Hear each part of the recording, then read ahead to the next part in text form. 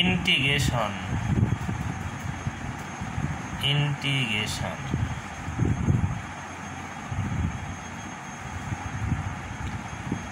integration x square e to the power x cube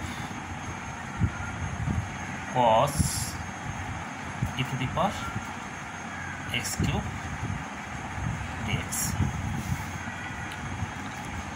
first you let it.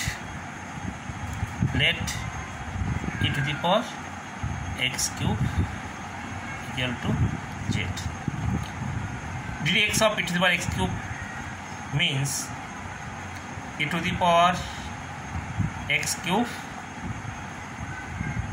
into dx of x cube. That means 3x square dx equal to dz now x square into e to the power x cube dx equal to one third dz now put this. The value of this equal to one third digit.